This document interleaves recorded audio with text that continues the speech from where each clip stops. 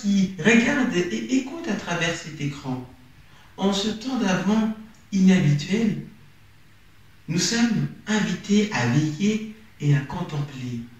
Moi, je t'invite à garder le sourire et à être optimiste.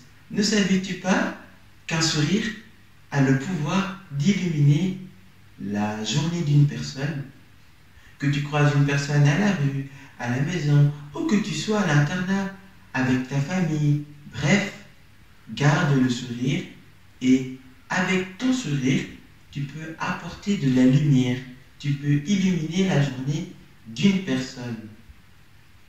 En faisant cela, tu anticipes ta joie, ta réjouissance pour Noël. Car Noël, c'est une fête où on est joyeux, on est content, où on fait la fête, malgré euh, ce temps un peu spécial, puisqu'il y a ce fameux virus, le Covid-19, qui sème la terreur.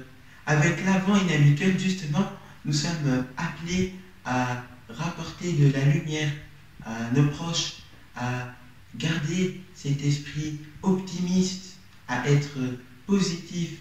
Et puis l'évangile de ce vendredi nous rappelle que Noël va être un moment de joie, de fête, et que celui qui va venir nous redonner de la lumière à nos obscurités et nous guider vers le chemin du bonheur et la vie éternelle, ben, nous devons être joyeux et contents de cela et pas rester tout mieux euh, triste, dans la dépression et être pessimiste.